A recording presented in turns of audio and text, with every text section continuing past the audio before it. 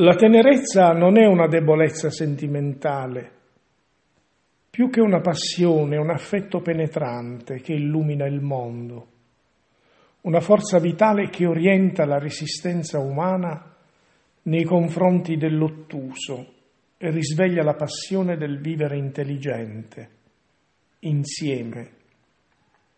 Non è un'esperienza che si subisce, ma un atto di conoscenza è un modo di percepire e vedere il mondo che diviene pura espressione di gioia alla presenza di un altro.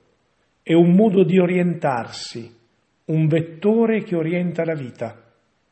Nel senso etimologico, orientarsi significa guardare a oriente, guardare a una luce che sorge, invece che stare sempre a pensare al tramonto.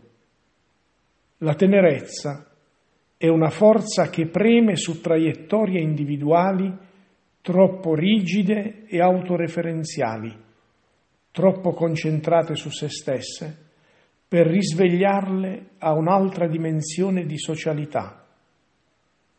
La tenerezza rende flessibili e disponibili all'incontro e la capacità di curvarci nella direzione dell'altro.